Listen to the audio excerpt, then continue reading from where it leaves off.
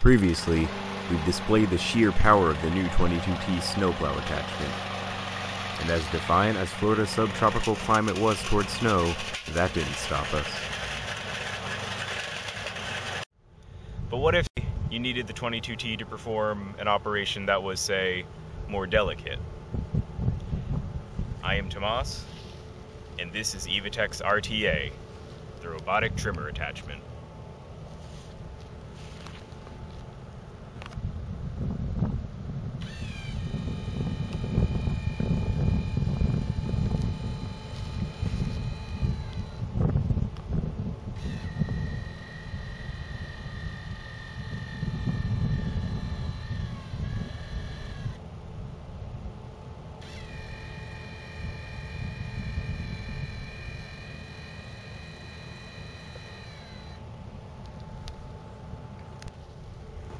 Much ingenuity went into the development of the RTA.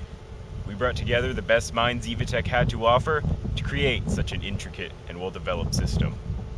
Hi, I'm Will Dascom. I'm a mechanical engineer with Evatech Incorporated. Hey, I'm Greg, and uh, I do most of the wiring here over at Evatech. Hi, I'm Lewis. I help put together the electrical components for all our units here. Of course, no success is without its moments of failure. Uh, one of the uh, cutting blades uh, broke off of the system.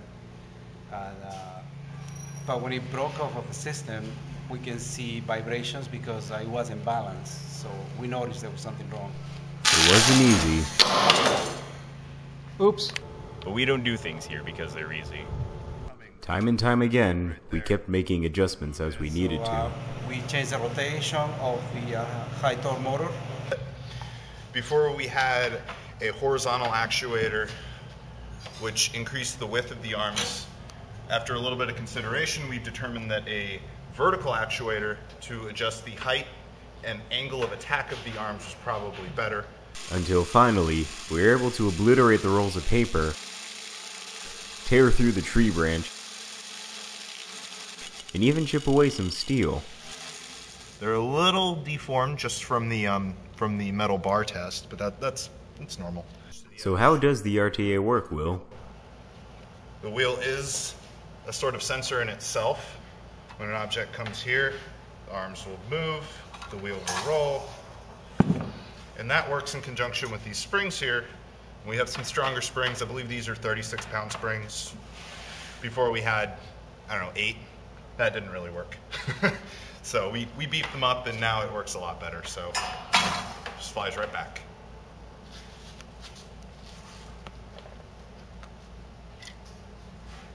And over here, we have our universal controller that helps control the linear actuator of the trimmers that we have for this unit.